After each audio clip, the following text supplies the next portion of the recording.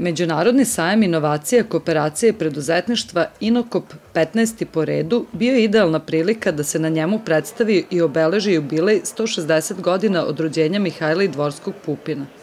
Pun pogodak je bio događaj koji je organizovan u subotu na sajmu.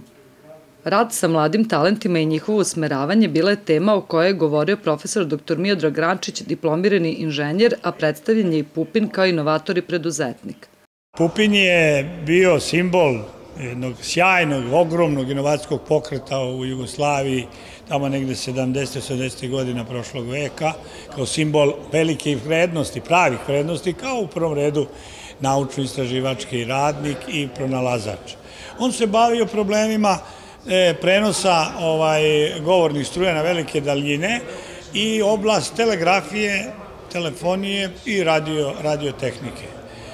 Ovaj, njegova sva rešenja počivaju na jednoj visokoj, visokom znanju. On je bio jedan od najvećih poznavaca matematike i fizike, ili matematičke fizike, kako su to naučnici često govorili, jer je dobro znao ovaj, i teoriju oscilacija i matematiku i uspeo je da reši. Možete zamisliti vi iz San Franciska sad pričamo i govorimo šta je to, šta vi mislite.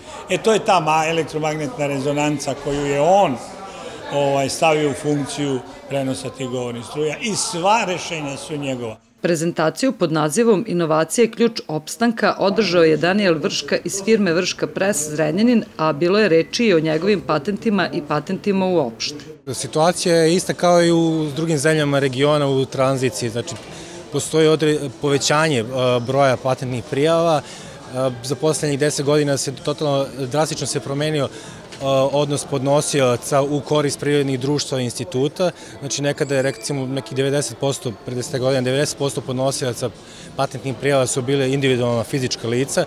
Danas je taj odnos veoma izmenjao nekih 60% do 70% odnosi znači, na privredna društva, institute i fakultete koji uviđaju da je koliko je veliki značaj zaštite pronalazka patentom ili malim patentom, počinju štiti na međunarodnom nivou u sve većem broju i svesni su koliko je značaj da se ta prava zaštite kako bi mogli da ostvare prava, način da mogu da prodaju te sobstvene patente ili da ih licenciraju i da uđu neku razmenu, znači cross-licensing sa nekim drugim velikim firmama, tako da svaki taj proizvod koji oni zaštite omogućava, daje im mogućnost za saradnju sa stranim partnerima, a daje im mogućnost da se probaju na inostrana tržišta.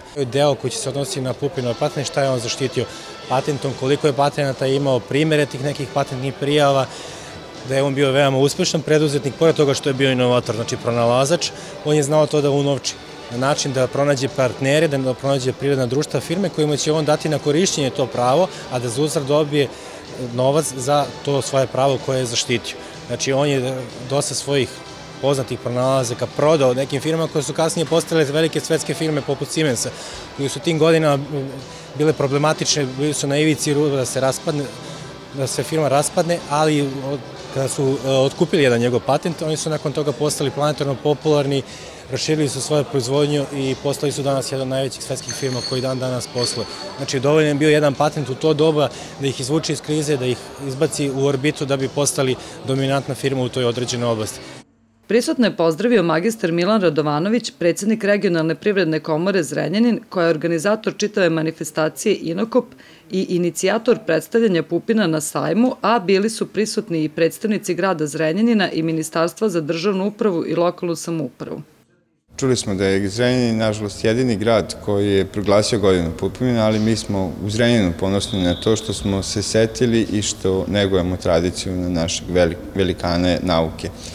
Zrenjanin e, podržava e, u nizu aktivnosti i manifestacija. Nismo želi da to bude jedna jedno obeležije, nego tokom čitave godine mnogo manifestacija i e, mnogo prezentacija o životu i radu našeg naučnika Mihajla Pupina.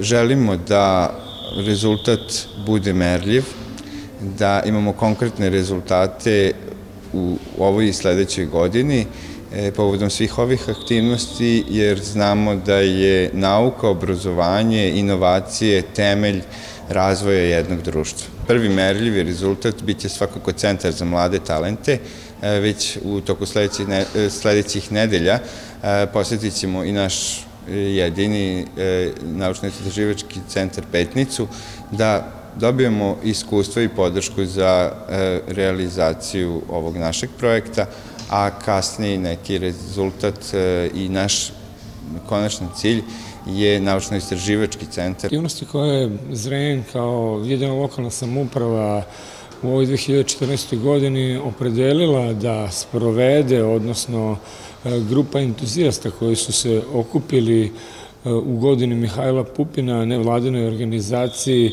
koja je sprovela e, u prethodnom periodu sve ove aktivnosti, govori u stvari prvo o istorijskom značaju ličnosti dela Mihajla Pupina, naravno trenutka u kome se nalazimo, ali i o perspektivama u kojima tek treba da razmišljamo. E, veliko je zadovoljstvo biti danas ovde u sklopu sajma Inokopa gde je praktično Pupinu i mesto, odnosno gde inovacije i kooperacije obezbeđuju e, budućnost i razvoj e, i jedne nacije, ali i čitavog regiona.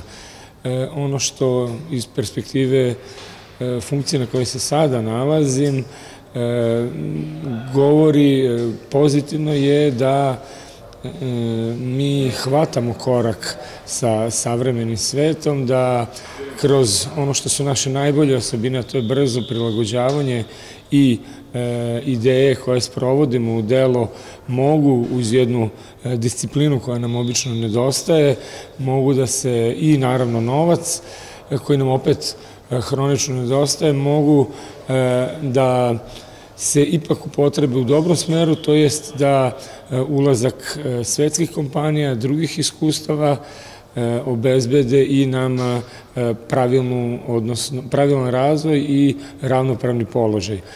Naravno da su izazovi veliki, naravno da je vreme isto tako teško, ali uz adekvatan rad sa mladim talentima, mladim ljudima, promovisanje i na ovaj način putem E, multimedijalnog prezentovanja, ali i svakako jedan e, značajan politički uticaj e, trebaju da dovedu do toga da se rad sa talentovanim mladim ljudima zapravo usmerava u tom ekonomskom, odnosno razvojnom pravcu.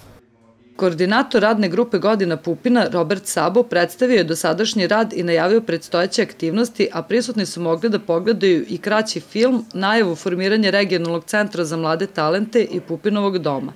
Program i rad možete pratiti na Facebook stranici pod nazivom Godina Pupina u Zrenjaninu.